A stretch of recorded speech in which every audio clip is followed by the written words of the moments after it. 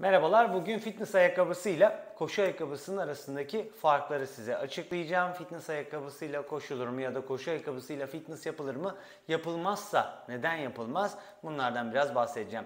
Şimdi koşu ayakkabısı adı üzerinde koşu için yapılmış ayakkabılara deniyor. Güzel bir yastıklaması var altında. Ayağınızın yerle temasını azaltıyor ki bu e, bazı e, bilir kişiler tarafından çok sevilmeyen bir şey. Ama e, şu anki sistemde e, ayağınızı yerden çok fazla e, yakın tutmayan ayakkabılar revaçta koşu ayakkabısı olarak kullanılıyor. Elimde bir örneği de var. Birazdan göstereceğim. Hatta şöyle göstereyim. Bu Nike'ın Zoom Tempo dediğimiz bir ayakkabısı. Yaklaşık şöyle bir 4 santimlik bir e, yerden yüksekliği var. Ayağımızı e, tabanımızı ya da tabanımızın altındaki tendon, kas ve diğer bağ dokuları çok fazla yerle haşır neşir etmiyor. Bu da koşarken değişik yaba, taban yastıklaması ve değişik bir e, dinamiğiyle ya da aerodinamiğiyle diyeyim bizi koşarken biraz ileriye doğru itiyor. Yani siz adımınızı attığınızda bu ayakkabı sizi biraz ileriye doğru itecek şekilde dizayn edilmiş. Hatta ilk çıktığında e, uluslararası resmi yarışlarda kullanılması yasaklanmıştı. Sonra bir şekilde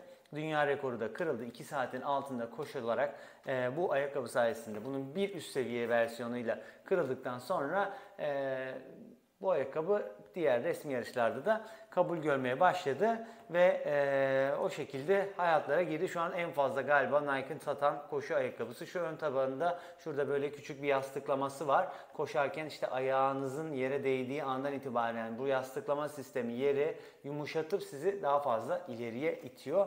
E, onun dışında diğer markalar da tabii bu işte biraz daha söz sahibi olmaya çalışıyor. Ama ülkemizde en çok kullanılan ayakkabı şu an Nike'ın diğer modelleri koşuda. Şimdi biz bu ayakkabıyı fitness sektöründe, fitness derslerinde, egzersizde giyersek ne olur? Bundan biraz bahsedelim. Şimdi bu ayakkabının yerle olan uzaklığından bahsetmiştim. Yani yaklaşık 4-5 santimlik bir uzaklığı var yerden. Herhangi bir koşu ayakkabısı da olsun illa bu marka olması gerekmiyor. Ne marka olursa olsun. Ee, bu ayakkabının yerle teması az olduğunda egzersiz yaparken taşıdığınız ağırlık, durduğunuz açı, bunların hepsi değişiyor otomatik olarak. Ayağınız yerden, ayak tabanınız yerden uzaklaştıkça vücudunuzun merkez ağırlığı değişiyor ve bununla alakalı belli yükler, belli açılarda başka kaslara biniyor. Yani aldığınız bir ağırlık öne eğildiğinizde belinizin başka bir noktasına e, hissettirebiliyor. Bu yükseklikten dolayı biz bu ayakkabıları giydiğimizde ayağımızın fitness yaparken yerle olan teması yine az olduğundan yine ayak tabanımızın altındaki kaslar, bağ doku, tendon, binlerce sinir geçen bütün uyarı sistemleri e, çok az etkileniyorlar bu egzersizlerden. Yani ayak yeri hissetmediği için e, sizin ayağınız deyim yerindeyse sürekli bu ayakkabıya alışık ya da bu tarz bir yüksek koşu ayakkabısıyla fitness yapan ayakkabınızın altındaki, ayağınızın altındaki kaslar, tendonlar biraz tembelleşiyorlar. Bunun için de belki görmüşsünüzdür spor salonlarında, özellikle fitness ya da crossfit salonlarında ya da e, Instagram'da ya da sosyal medyada gördüğümüz işte ağır kaldırışlar, lifting dediğimiz bu olimpik kaldırışları yapan sporcuların ayaklarında çok daha yere yakın ayakkabılar görmüşsünüzdür. Mesela Converse, Vans gibi markaların o incecik taban, yere çok yakın olan ayakkabılarının modelleriyle insanlar ağırlıkları kaldırıyorlar. Mesela onunla da ilgili bir örnek vereceğim yine. Bu da görmüş olduğum bir fitness ayakkabısı. Yine yere olan yakınlığı çok daha fazla. Artık burada taban neredeyse şurada ayağınız ve 1-2 santim yeri çok daha fazla hissettirecek bir fitness ayakkabısı geliştiriyor. Yine aynı marka ama yine kulvarı farklı. Ee, ben demiyorum ki gidin bunu alın ya da bununla hiçbir şey yapmayın.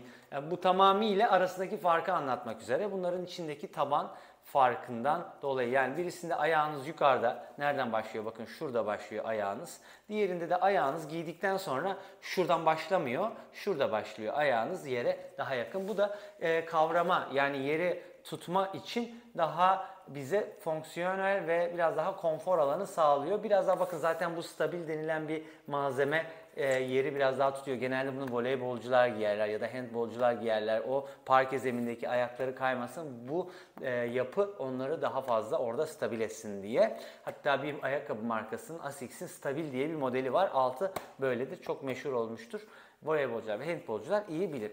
Yani bu iki koşu ayakkabısı ya da fitness ayakkabısının neden giyilmemesinin kısaca kabaca anlatımı bu. Şöyle topuklarına da bakarsanız birisi tabanında topuğu çok daha yakın. Birisinin topuğu yerden zaten yine yükseklikte ve dediğimiz gibi yine koşuya tasarlanmış olduğu için koşu için bakın burası yukarıda ve bastığınız andan itibaren sizi ileriye itme özelliği var. Bu ayakkabılarla spor yapan, fitness yapan öğrencilerimiz yok mu? Var. Yapacak bir şey yok. Onlar bunlarla alışmışlar ya da eee, bunlarla spor yapmak durumundalar. Biz onlara gidin bunu değiştirin diyemiyoruz. Bunu kibarca söylemeye çalışıyoruz. Burada ayağınızı çok fazla yere yaklaştırmadığı için hissetmiyorsunuz ve ayak tabanınızın altındaki işte bütün bağ dokular, kaslar çok daha az etkileşime giriyor taşıdığınız ağırlıkla, kullandığınız ekipmanla. O yüzden ikisinin arasındaki genel fark bu arkadaşlar. Yani bir koşu ayakkabısıyla fitness yaparken biraz daha dikkat etmenizi tavsiye ederim. Mesela ben online derslerde koşu ayakkabısıyla spor yapan öğrencilere çıplak ayakla spor yapmalarını tercih ettiriyorum ya da bir çorap yardımıyla spor yapmalarını tercih ediyorum. Çorabın da burada bir kayma özelliği yok mu? Var. Aslında bu biraz daha zorlaştırıyor işi. Yani kayan bir zeminde egzersiz yapmak daha da zor. Burada da bu birazcık orta ve ileri seviye egzersiz yapan insanlar çorapla sporu yaparken biraz daha fazla zorluk seviyesini arttırıyorlar kendilerince.